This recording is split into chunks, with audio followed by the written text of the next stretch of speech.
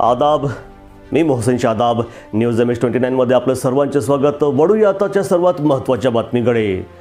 माझ्या मुलीचा कोरोनाने मृत्यू नसून या तीन डॉक्टर्सच्या संगनमताने केलेला खूनच आहे. दुर्गा मिश्रा यांनी पत्रकार परिषदेत केला आरोप. सौबासोरी शैलेश त्रिपाठी हिचा उपचार यवतमाळ येथील स्त्रीरोगतज्ञ डॉक्टर सुरेखा पियुष बर्लोटा यांच्याकडे मागील नऊ महिन्यांपासून सुरू होता. एक मार्च रोजी बासुरीला दवाखान्यात ॲडमिट केल्यानंतर तिचे बाळंतपण सिझेरियन या प्रकारे केले व तिने एका मुलाला जन्म दिला. व नंतर चार दिवसांनी तिला सुट्टी देण्यात आली मात्र पाच मार्च रोजी तिची तब्येत अचानक बिघडली. म्हणून बर्लोटा यांच्या दवाखान्यात नेले असता तिला कोरोना झाला असे सांगून डॉक्टर महेश शाह यांच्याकडे रेफर करण्यात आले. तिथे नऊ दिवस तिचा उपचार केल्यानंतर अखेर चौदा मार्च रोजी बासुरी शैलेश त्रिपाठी हिचा मृत्यू झाला. म्हणून माझ्या मुलीचा कोरोनाने मृत्यू नसून या तीन डॉक्टर्सच्या संगनमताने केलेला खूनच आहे असा खळबळजनक आरोप तिची आई दुर्गा मिश्रा हिने पत्रकार परिषदेत केला. पाहूया विस्तृत रिपोर्ट. बासुरी शैलेश त्रिपाठी हिच्या आईने पत्रकार परिषदेत डॉक्टर सुरेखा बरलोटा डॉक्टर पियुष बरलोटा व डॉक्टर महेश शहा यांच्या हलगर्जीपणामुळे व पैसे उकळण्यासाठी तिला कोरोना झाला असल्याची बनावट केल्याचे आरोप केले आहे.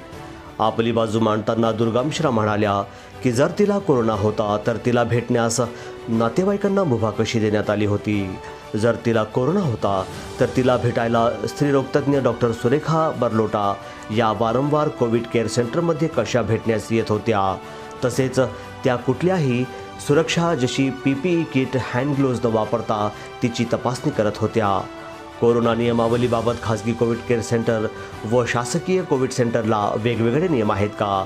यावरून असा प्रश्न निर्माण होतो की तसेच कोरोना चाचणी व एच आय व्ही चाचणी केल्या गेली नाही ज्यावेळी तिला उपचारासाठी व डिलिव्हरीसाठी बर्लोटा यांच्या हॉस्पिटलमध्ये उपचारासाठी दाखल केले असता त्या ठिकाणी लिफ्टसुद्धा बंद असल्याने दोन मजली इमारत त्या गरोदर महिलेला पायऱ्या चढत वर बोलविण्यात आले.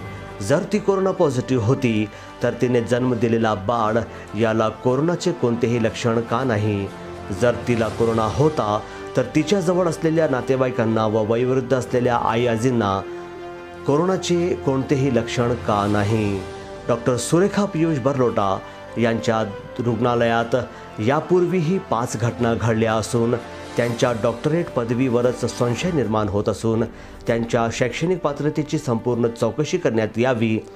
त्यांच्या हातून अनेक असे गंभीर प्रकार घडले असून काही उघडकीस आले तर काही पैशांच्या जोरावर दडपण्यात आले. म्हणून त्यांच्या पदवीची सखोल चौकशी व्हावी. डॉक्टर शाह हॉस्पिटलमध्ये उपचाराचे बिल दोन लाख पंचवीस हजार पाचशे रुपये व औषधोपचाराचे बिल एक लाख चोवीस हजार दोनशे ब्याण्णव रुपये. इतर ठिकाणाहून साठ हजार रुपये औषधी आणली असून ही औषधी रुग्णाला लावल्या की नाही लावली हा दैनंदिन उपचाराच्या अहवालातून उघड होऊ शकतो. मात्र उपचाराचा दैनंदिन अहवाल मागितला असता तो देण्यास स्पष्ट नकार दिला. याबाबत जिल्हा शल्य चिकित्सक अधिकारी माननीय जिल्हाधिकारी साहेब योग्य यांनी दखल घेऊन त्वरित कारवाई करावी अशी मागणी मृतकाची आई व भारतीय नारी रक्षा संघटनेच्या वतीने करण्यात येत आहे. यावेळी पत्रकार परिषदेला मृतकाची आई दुर्गा मिश्रा विनोद दोंदल सुकांत वंजारी सुधीर कैपिल्यवार आदी उपस्थित होते. नमस्कार मैं दुर्गा मिश्रा मैं आप लोगों को आज यहाँ प्रेस कॉन्फ्रेंस के द्वारा इसलिए यहाँ पर बुलाई हूँ और मैं आपके समक्ष यहाँ पर इसलिए मौजूद हूँ कि मेरी बेटी सौभाग्यवती बासुरी शैलेश त्रिपाठी, जो आज इस दुनिया में नहीं है, जिसकी डिलीवरी डॉक्टर सुरेखा बरलोटा के यहाँ दिनांक एक तारीख को, यानी कि एक मार्च को रात दस बज के पचपन मिनट पर की गई। परंतु दो तीन दिन रखने के बाद में डॉक्टर बरलोटा के हाथ से सीज़र करते समय पता नहीं कौन सी नस उसने दबाई कि मेरी बेटी बांसुरी की मौत हो गई। और उसने इस मौत को कोरोना का नाम देकर डॉक्टर शाह के यहाँ पे रेफ़र करने के लिए कहा। बिना रेफ़र लेटर देते हुए।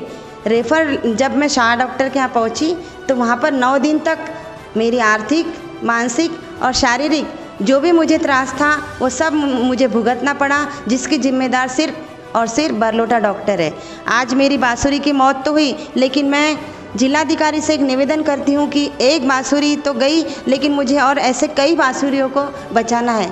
तो मैं आज आपके समक्ष न्याय की भीख मांगती हूँ और ये काम न होने पर मैं डॉक्टर बरलोटा के यहाँ 10 से 15 दिन के अंदर हो सकता आत्मदहन की भी तैयारी करूँ।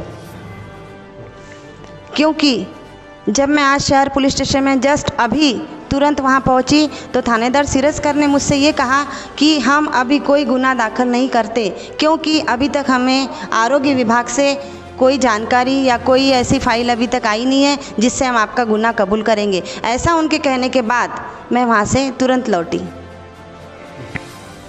मैं आरोग्य विभाग से बस यही कहना चाहती हूँ कि ये अहवाल जल्दी से जल्दी पुलिस स्टेशन तक पहुँचे, ताकि मेरे बेटी को न्याय मिले और इसके बाद जो दूसरी बेटियाँ न मरे न उनका नुकसान हो इसके लिए मैं निवेदन जिलाधिकारी से करती हूँ कि जल्दी से जल्दी आह्वान भेजे अहवाल भेजे और मेरे बेटी को न्याय दे।